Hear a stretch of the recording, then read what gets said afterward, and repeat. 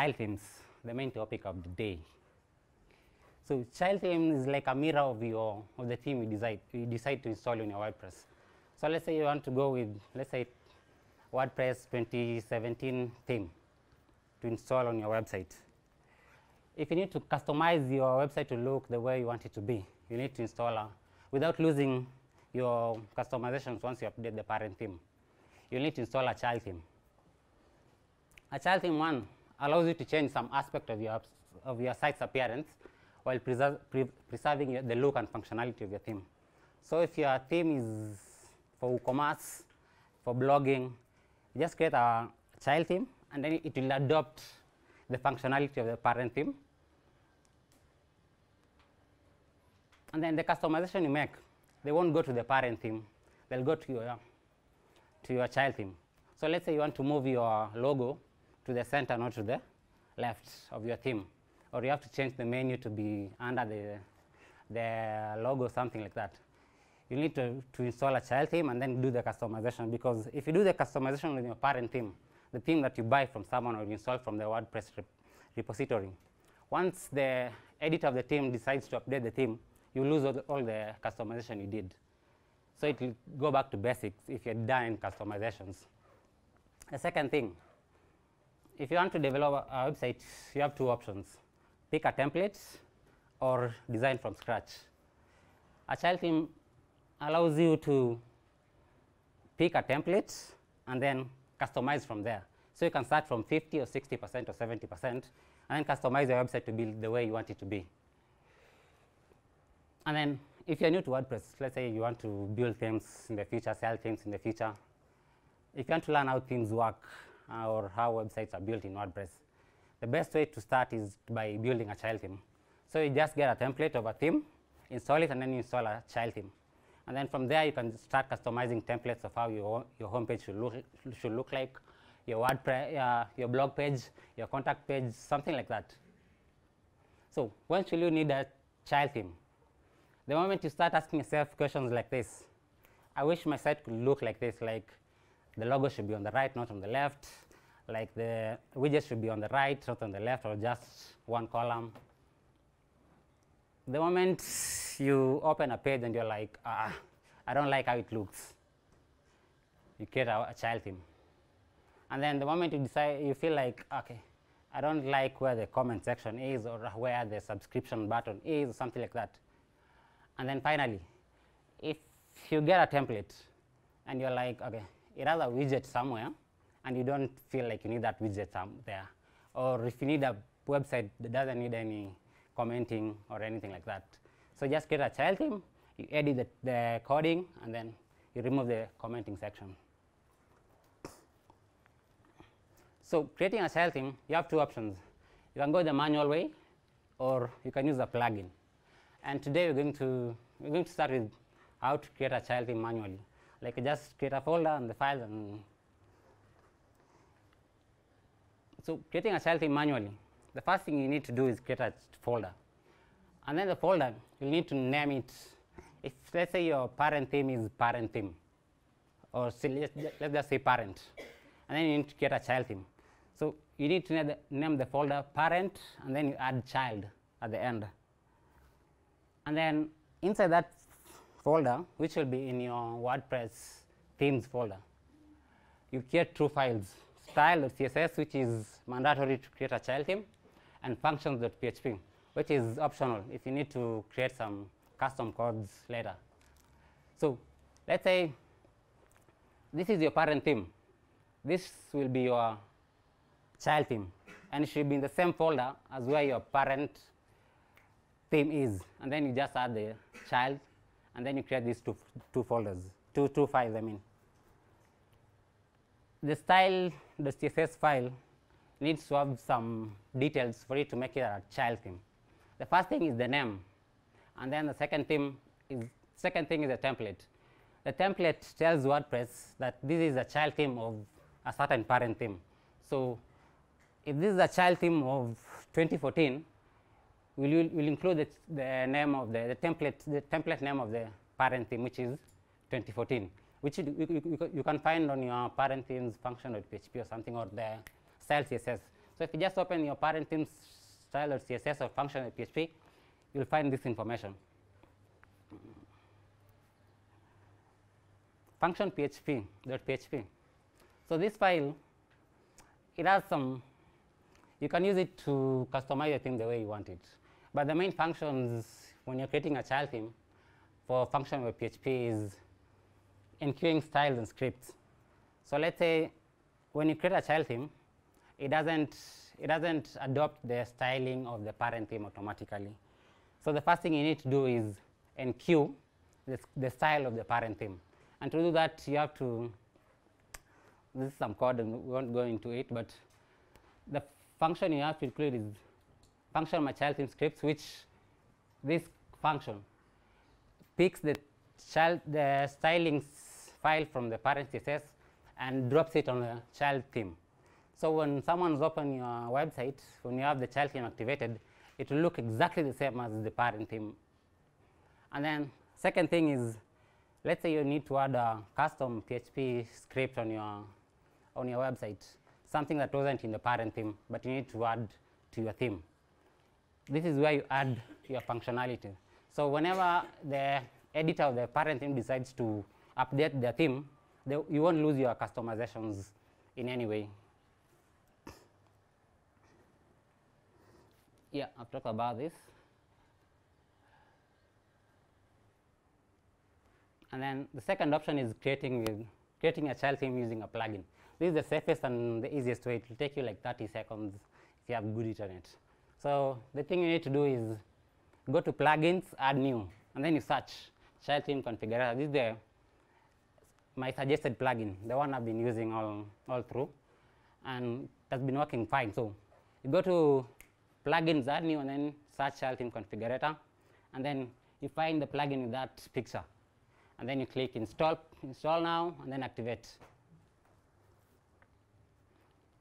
Once you activate it, you'll go to tools, yeah, I guess tools on your WordPress W admin page, and then child theme.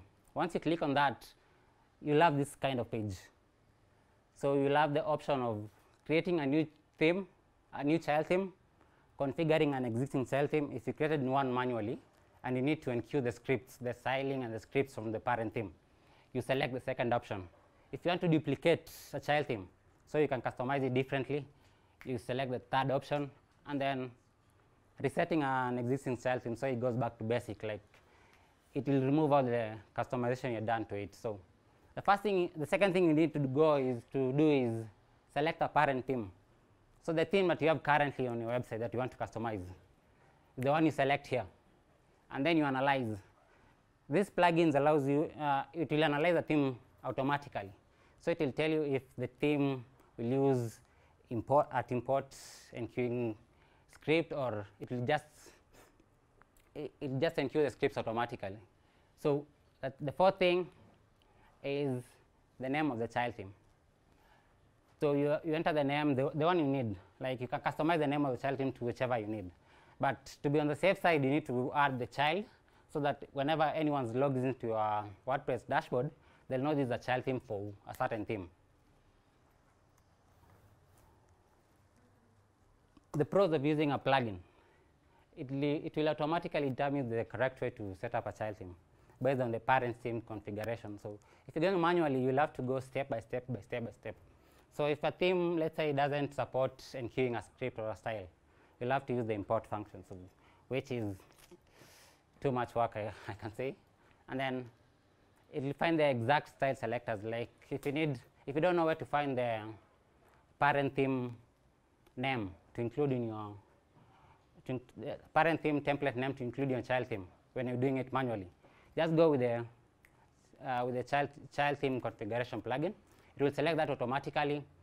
And then let's say you have a website, you've been working on it for like say let's say the last one year, and you've been using the parent theme, and you're like, okay, I need to customize some things, and you've already customized some things on your parent website, like you've changed the location of the logo, the widgets, and something like that. So if you use a plugin, it will automatically copy your customization from the parent theme and put it on your child theme. So you won't have to start from zero again once you install the child theme. and then automatically includes style sheet there. Uh, installing and activating a child theme. I guess once you've opened a child theme, uh, a WordPress website, you know how to install a theme. If you don't, you just go to Appearance and then Themes, and then up there is a button to upload your new theme, something like that. And then once you've created your theme, if you created it manually and on your desktop, not on your on your website backend, you need to upload it to your WordPress installation. But if you use a plugin, once you go to appearance the theme, you'll find it automatically created. So you see this is the parent theme and then this is the child. So just go to activate the child theme and then maybe if you need to look, see how your theme will look like before activating it, you can just click live preview. It will show you how a theme will look like once you activate the child theme. Mm.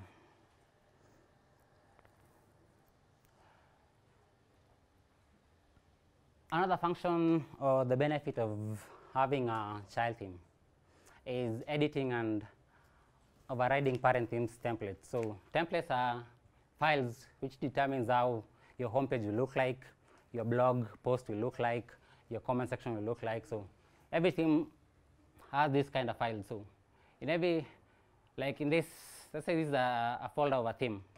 Index PHP will decide how your homepage, when someone logs into your website, this is how they'll see it. The header is where your menu and your logo will be and how they look like. And then the page, page.php decides, determines how any page you create on your web WordPress files, on your WordPress website will look like. So let's say you have a problem with, uh, let's say a page on your, on your WordPress installation, and you're like, ah, I need to change this page to be, let's say, two columns or three columns, something like that. You need to copy this file page from the parent theme, and then you copy it to your child theme. So you just copy it from directly from the parent theme and then to the child theme folder. Once you do that, any customization you make on that file will automatically reflect on your website. And once a parent theme is updated, you won't lose the customization, customization did in your template file. And else, let's say your team doesn't have a, a template file for a page you need. Let's say you need your About Us page to look differently from any other page, or your 404 page to look differently, or your home page to look differently. So the first thing you go is create a page, and then you add in the front, let's say page page.404 or page dot slash homepage, and then you customize it the way you need. So if your homepage looks a certain way when you start, it has like one column, and you need it to have like three columns. Once for widgets and searching, the main content, and then some other things on the other column. You create your file on your child theme folder, and then once you open your page, WordPress will automatically pick the page depending on how you named it. So there's some customization you need to, to do on your naming for WordPress to pick it automatically. Key pointers. Parent theme is still master. Once you create a child theme, it doesn't make it like the master theme. What child theme does is just copying what parent theme is doing. So any changes made to the parent theme will somehow affect the child theme. So if you need to be, if you need to be on the safe side, make sure every time a child uh, parent theme is updated, you compare it with your child theme. So that if there's any functionality included in your child theme and then it's updated on the parent theme, you need to edit it. That's the second point actually. So enqueuing and reference any new files and scripts. So you've installed a child theme, you've created everything, and then you need to add some template files on your child theme. WordPress won't automatically pick it and then display it on the front end. You need to somehow tell WordPress that this is my child theme, these are my custom functions or templates. You need to copy it from the on from my child theme and then display it on my website. Same point I made it on the first one. And then do you need a child theme? So let's say you have a theme like that you like 90% and then you have like 10% of it you don't like some aspects of it you can create a child theme but let's say you get a template you like 30% of it 70% of it you don't like. So there's no need of creating a child theme to make customization of 80% of your website. It's better for you to just create a theme a parent theme and then do the do the customization the way you like it. The same point the last one. And that's it for me